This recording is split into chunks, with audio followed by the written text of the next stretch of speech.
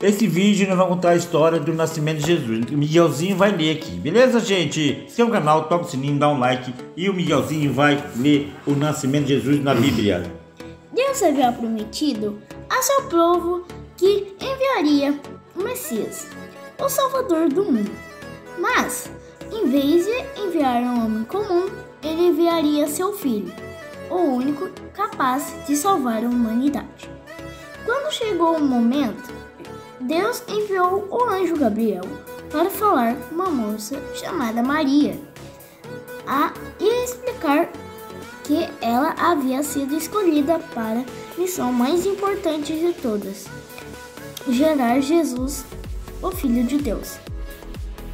Ao saber da notícia, José, o noivo de Maria, pensou em anular o casamento, mas o anjo apareceu no sonho do rapaz explicou que a gravidez aconteceria por meio de um milagre do Espírito Santo.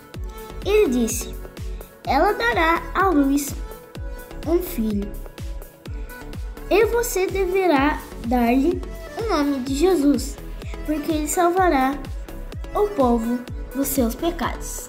Amém. Né, Miguelzinho? Ó, o Miguelzinho leu a primeira história do nascimento de Jesus. E nós vamos mandando mais vídeo aí, né, Miguelzinho? Com historinha da Bíblia, o Miguelzinho vai ler. E é isso aí, gente, ó, vem pra casa da mãe, vem aqui visitar a Nossa Senhora, venha conhecer a história de Maria, como que ela, né, por que que ela é tão importante para a igreja. E ela é muito importante para nós, né?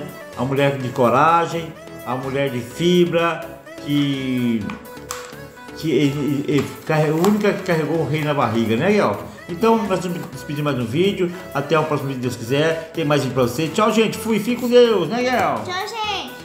Fui. Strong.